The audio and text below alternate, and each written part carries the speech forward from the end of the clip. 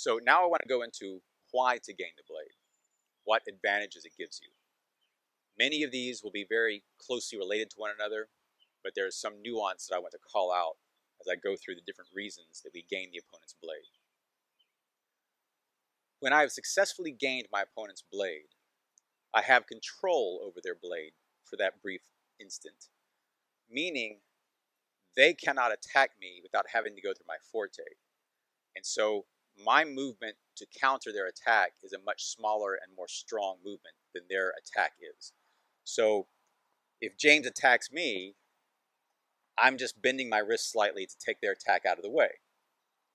So gaining control is the most obvious and the first reason that we gain the blade. So on top of controlling the line and controlling their blade, I'm also constraining their actions. I'm constraining their options. So I'm controlling the blade because as we just discussed, if my opponent thrusts at me, I can easily take it offline. But that also now is making them rethink their position. So I'm constraining their options and starting to guide them into taking other options that hopefully I have defined for them. So when I've gained my opponent's blade, when I've constrained their actions, I've also created for myself a safe space.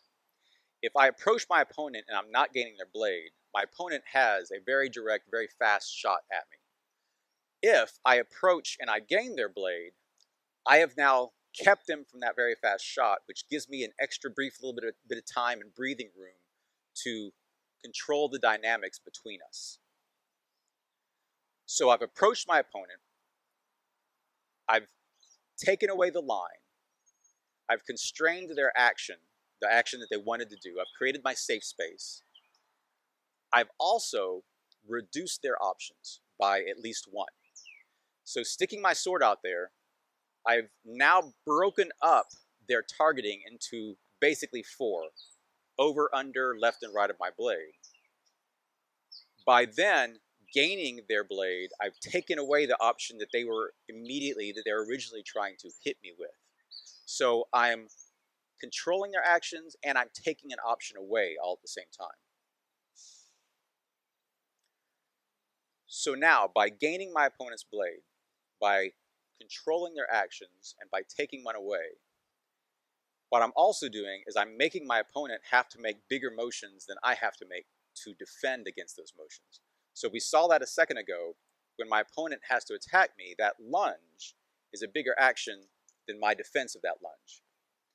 But also, if I force my opponent to do a cavatione and come around my blade, again, my defense of that is simply rolling my wrist. Their cavatione is a bigger motion than my stopping that cavatione.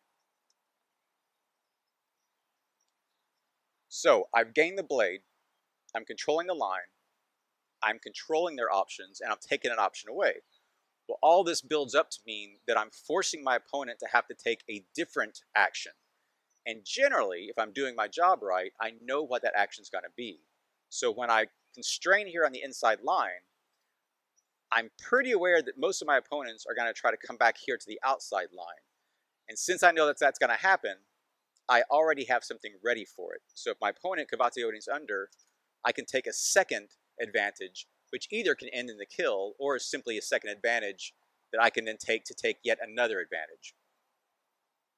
Now finally, with all of this stacked up together, I've taken the line, I've defined my opponent's options and I've taken one away, and I've forced them to make an, uh, an, an action.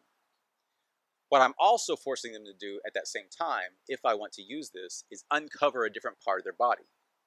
So right now, their sword is kind of covering their sword arm. But if I force this action to my outside line, I now have that sword arm available to me. So a gain can also be a way to uncover your opponent in a way that they are previously covered. Now, there has been in the past discussion about whether the find and the gain are the same thing. And let me lay out where I come down on this discussion. To me, the find and the gain are related, but they're not the same.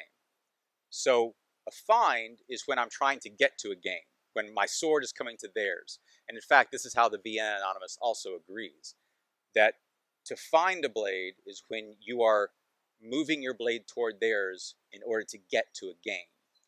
And this action to me is distinct because if I've moved into measure and I haven't yet gained, visually gained my opponent's blade, for instance, and I try now to find it, my opponent has every opportunity to beat me while I'm not yet gaining their blade. So the find is an action where I'm still triggering their action. I'm moving forward, trying to make the gain, but I haven't yet. Now, I can use this to my advantage against some opponents. Um, I can make them think that I'm uncovered and find while I'm slightly in measure. But nonetheless, the gain happens once the blade is found, not while I'm finding it, but once I'm finished finding it and it is found. That is the gain. Okay, so to sum up the simple gain and the ideal gain, according to the Vienna Anonymous, first, you work on getting more of your blade over less of theirs. So you, remembering the degrees of strength, you work on getting your two or your three over their one or their two as you close.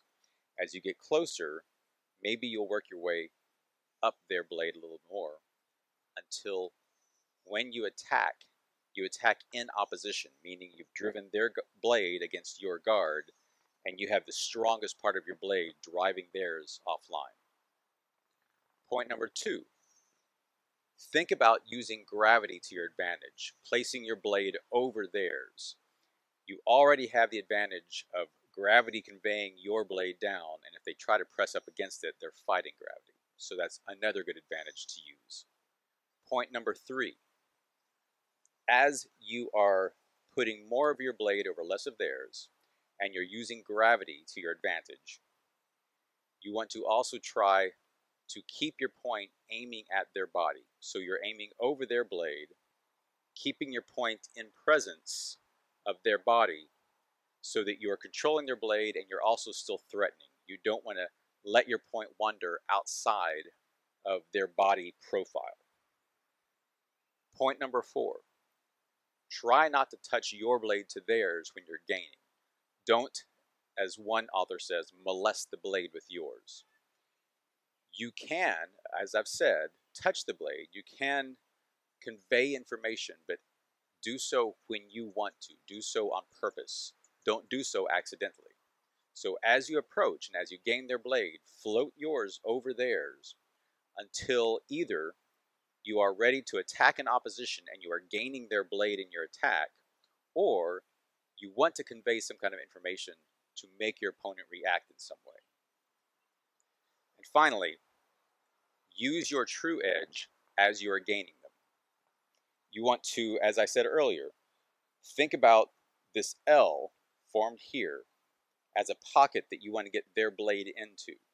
So that keeps your queen pointing at their sword, at their blade the whole time, no matter which side they're on. And that means you're also aligning your true cutting edge to their blade. This is a stronger mechanic. So as you are increasing your mechanics by using the degrees of strength, you're amplifying that by pointing your true edge at their blade, not your false edge or your flat. All right, now this video has gone on long enough. I've gone over what is a gain, I've gone over how to gain, and I've gone over some ideas of why to gain. So I'll leave you with this one last point. Maybe you can call it a puzzle.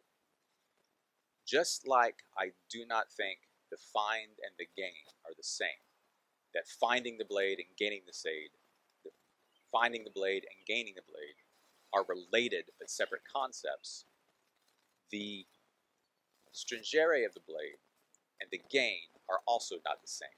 They are related. The stringere of the blade contains a gain, but it is not itself a gain. And as I think you've seen, you can have a gain without it being a stringere, specifically the beat, but also in other ways. All right? So I'll leave you with that. Thank you for watching. I hope this was helpful. And everyone, fight well and fight safely.